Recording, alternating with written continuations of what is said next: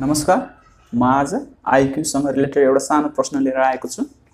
यदि A minus B बराबर three हुन्छ भने A square plus B square बराबर ट्वेन्टी नाइन हुन्छ भने एबी बराबर कति हुन्छ भनेर क्वेसन छ।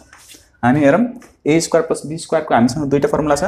हामीलाई थाहा छ सिन्स यहाँ ए माइनस बी दिएको छ हामी यो फर्स्टवाला फर्मुला युज गर्छौँ। A square plus B square बराबर A minus B square plus two एबीवाला use गर्छौँ। ए माइनस बीको भ्यालु थ्री दिएछ।